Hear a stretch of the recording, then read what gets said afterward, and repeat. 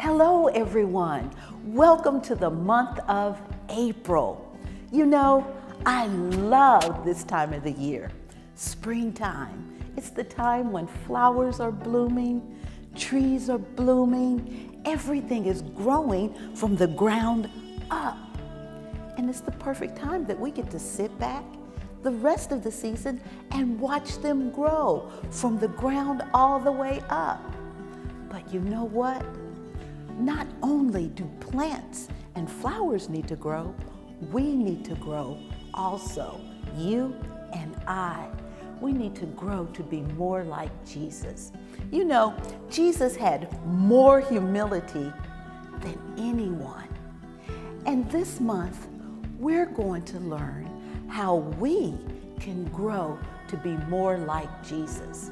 Yes, we're going to be studying and we're going to pray and ask God to help us to grow to be more like Jesus. What do you deserve?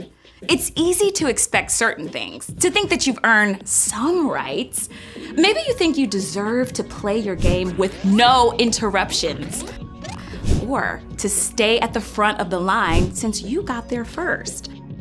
Maybe you think you deserve to eat food you really like at dinner every day.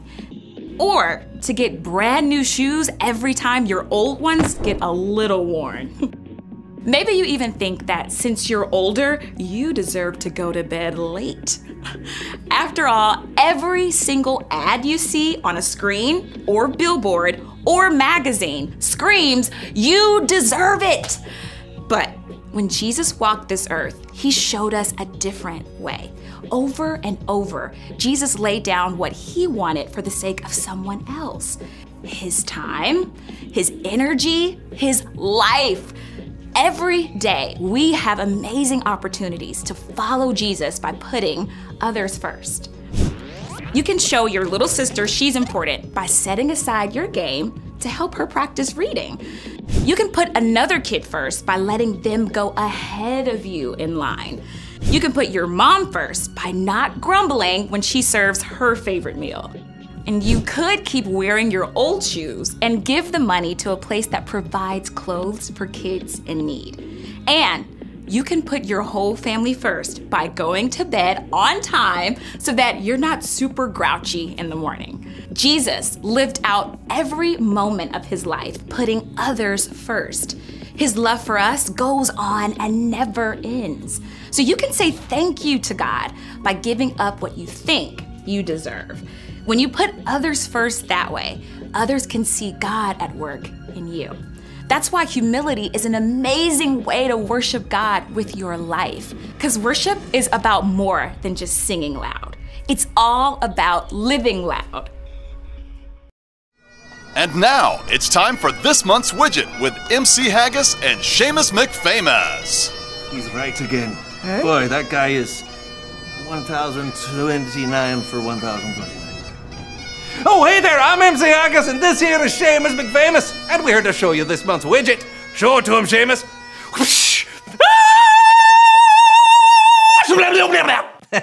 it's the Community Garden Fidget. Now, it might look like an ordinary pea pod, but you won't be able to put this fidget down. Hey! Hey! Uh, families can put others first by taking turns working the fidget while discussing the included questions about how we can be more humble in our everyday lives. So get yours today. All right, it is time for praise and worship time. But before we go to praise and worship, I want you to remember that God sent Jesus Christ here for us. Talking about humility God sent his son, Jesus Christ, for you and for me. Remember that, boys and girls, while we're doing this praise and worship song. Let's really sing praises to God for what he has done for us. All right. Y'all ready? Here we go. I think it's time to change my mind from only thinking me, myself, and I. Laying down my pride. Gonna put somebody else at number one this time. Don't wanna be in a world where it's all about me. I'll take second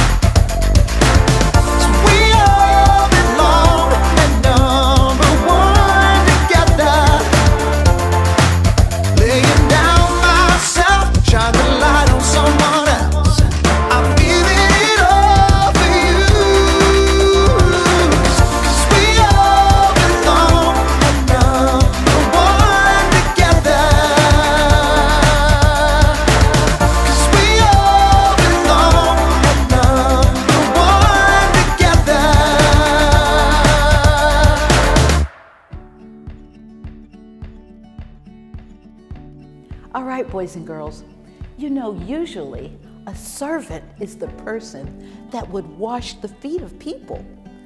But Jesus, the most humble servant of all, he washed the feet of his disciples. Yes, a prince of a prince of prince, a king of kings. He washed the feet of his disciples. That is humility. Let's watch as we find out about Jesus washing the feet of his disciples. The story before the story. Today, we're in John, the fourth book in the New Testament. But before John, in the very beginning, out of a deep, deep love, God made an amazing world. But when people turned away from God, the world was broken. God made a plan to draw people back into relationship. So at the right time, God sent a tiny baby to be born in the small town of Bethlehem, God's very own son, Jesus. When Jesus grew up, he began to travel from town to town, teaching and healing, At last, he made his way toward Jerusalem for the Passover feast. which is where our story starts. Take it away. Hey everyone, I'm Brian. Jesus was about to head into Jerusalem where great crowds were gathered for the Passover feast. He asked two of his disciples to bring him a donkey and her colt. They placed their coats across the colt to make a comfortable seat for him. Now, Bethany, where Jesus was staying, was only a short distance from Jerusalem. Jesus had walked hundreds of miles on foot, so why did he need a donkey for a measly two miles? Well, great kings often rode victoriously on a powerful war horse. But Jesus knew what the prophet Zechariah had written long ago. Say to the city of Zion, See, your king comes to you. He is gentle and riding on a donkey. He is riding on a donkey's colt. Jesus was showing that he was a different kind of king, a king who came to serve rather than to order people around. As the people saw him coming, they laid their coats on the ground and cut branches from palm trees.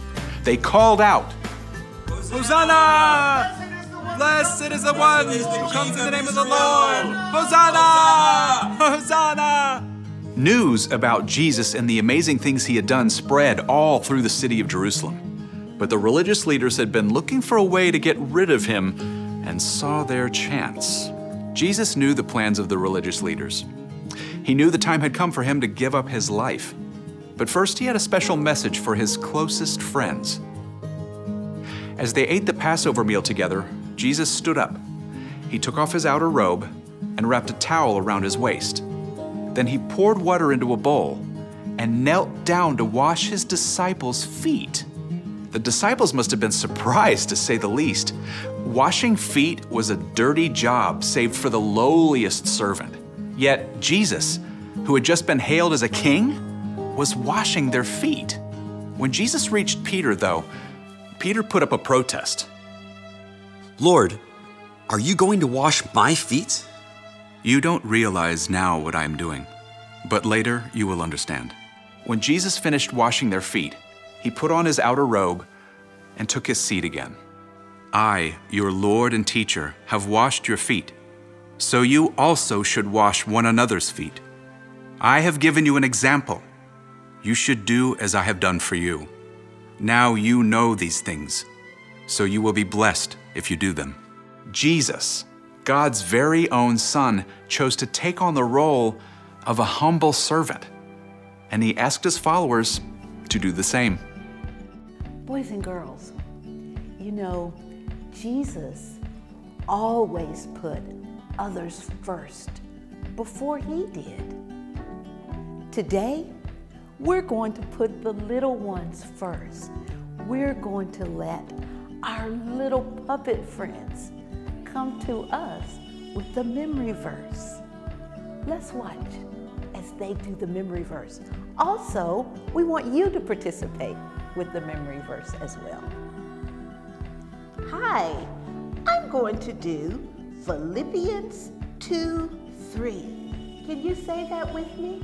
Philippians 2 3. Don't do anything only to get ahead. Don't do it because you are proud. Instead, be humble. Value others more than yourself. Philippians 2, 3. Let's do it one more time. Are you ready? Philippians 2, 3. Don't do anything only to get ahead. Don't do it because you are proud. Instead, be humble. Value others more than you value yourself. Philippians 2 3. I want to hear you all do this. Philippians 2 3. Value others. Be humble. That's what Paul is saying to the Philippians. Bye. Boys and girls, it has been great learning about humility. And we had the perfect teacher, Jesus Christ, to teach us and to help us grow in humility. Before we go, though, this week, let's pray. Bow your heads. Dear God, thank you for this amazing example of humility that Jesus gave us. It's incredible To think that Jesus, your son, would do something like washing the feet of his friends. We want to follow Jesus and put others first. But we need your help, God. Please help us to remember the example that Jesus gave us and put others before ourselves. God, we love you and we pray these things that Jesus did will give us a better picture of how we're supposed to live and that we can be an example to others, just like Jesus was an example to us. In Jesus' name we pray. Amen.